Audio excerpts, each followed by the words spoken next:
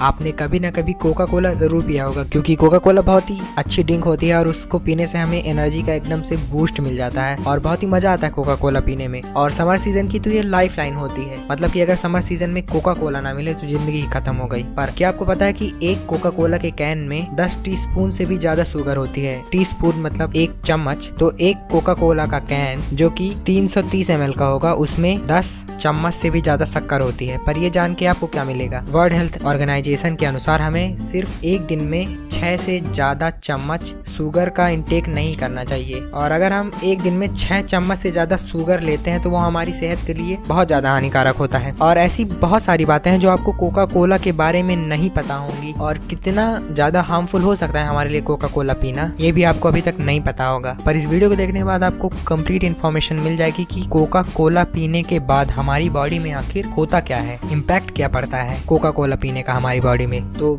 शुरू करते हैं।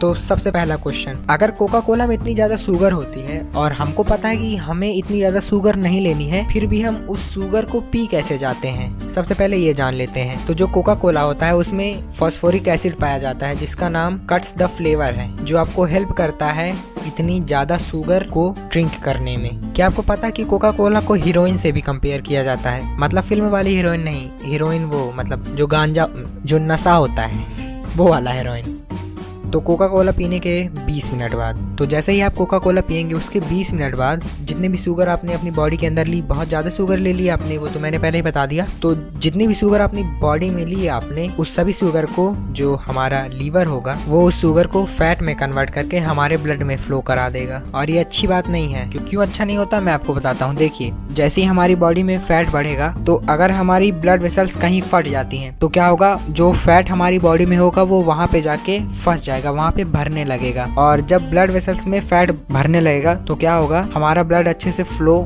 नहीं हो पाएगा ब्लड प्रेशर बढ़ेगा। Ultimately blood pressure is equal to heart attack heart attack is equal to death this implies Coca Cola is equal to death अब कोका कोला पीने के 40 मिनट बाद आपकी बॉडी में उसका इफ़ेक्ट तो जैसे ही आप कोका कोला पियेंगे, उसके 40 मिनट बाद जितनी भी कैफीन होगी कोका कोला में, जितनी भी कैफीन आप अब्जॉर्ब करेंगे मतलब अपनी बॉडी के अंदर लेंगे, वो सारी कैफीन हमारी बॉडी में अब्जॉर्ब हो जाएगी, जिसके कारण हमारी प्यूपिल जो होंगी, वो डाइल्यूट होने लगेंगी। सीधा सीधा मैं आपको समझाऊ, आँखें बंद होने लगेंगी। इससे क्या होगा कि तेज़ी से हमारा ब्लड प्रेशर बढ़ने लगेगा, और ब्लड प्रेशर बढ़ने से क्या होगा, आपको पता होगा। देखिए कैफीन लेने से क्या होता है, जब भी हम कैफीन को लेते हैं तो जो हमारा एनर्जी लेवल होता है ग्राफ में अगर मैं बताऊँ तो वो एकदम से ग्राफ बहुत ऊँचा चला जाता है और उसके बाद डायरेक्ट डाउन आ जाता है वो ग्राफ तो उससे ब्लड प्रेशर बढ़ने लगता है। और मैंने जैसे अभी प्रूफ कर दिया कि blood pressure is equal to heart attack heart attack is equal to death this implies Coca Cola is equal to death Coca Cola पीने के 45 मिनट बाद। तो जैसे ही आप कोका कोला पियेंगे, उसके 45 मिनट बाद मतलब 40 minute plus 5 is equal to 45 minute बाद, आपके ब्रेन में बहुत ही ज़्यादा अमाउंट में डोपामीन बनने लगेगा। डोपामीन क्या होता है? जो आपको प्लेजर और रिवॉर्ड देता है। फॉर एग्ज़ाम्पल आपने बहुत ही ज़्यादा मेहनत की और एग्ज़ाम दे के आया और एग्ज़ाम दिया, बहुत ही अच्छे मार्क्स आए। उस मार्क्स की जो खुशी होगी, जो प्लेजर मिलेगा, वो किसके कारण मिलेगा? डोपामीन के कारण मिलेगा। तो डोपामीन से हमें खुशी और प्लेजर मिलता है। अब यहाँ पे कुछ लोग कहेंगे, डोपामीन निकल रहा, हमको खुशी मिल रही। अच्छा है अच्छा है। पर देखिए, आपने एग्ज़ाम पास किया, मेहनत करके डोपामीन निकला, खुशी मिली। पर अगर आप बिना किसी मेहनत के हमारे ब्रेन से डोपामीन सिक्रिएट करेंगे तो आपको लगेगा कि ये काम करने से, ये पर्टिकुलर काम करने से बिना किसी मेहनत के मुझे डोपामीन मिल रहा है। और जब आपको पता चल जाएगा कि बिना किसी काम के डोपामीन निकल रहा है तो ये आपका एक नशा बन जाएगा। इसीलिए कोका कोला को हेरोइन से कंपेयर किया जाता है। और ऐसे ही हमें नसों की भी आदत लगती है, क्योंकि बिना किसी मेहनत के डोपामीन जो निकलता है, सीधा सा लॉजिक है। आप समझ जाइए।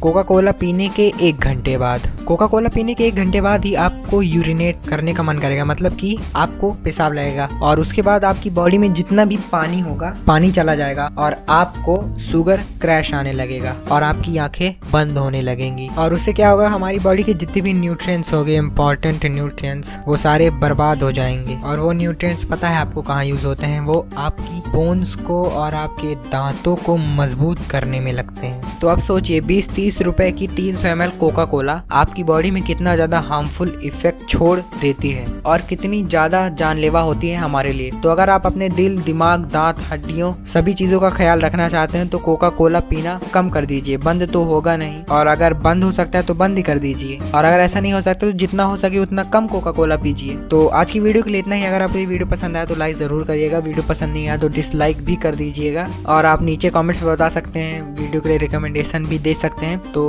जब तक अगली वीडियो नहीं आती, आप इस चैनल की दूसरी वीडियोस को देख के कुछ नया जान और सीख सकते हैं। Till the next video thanks for watching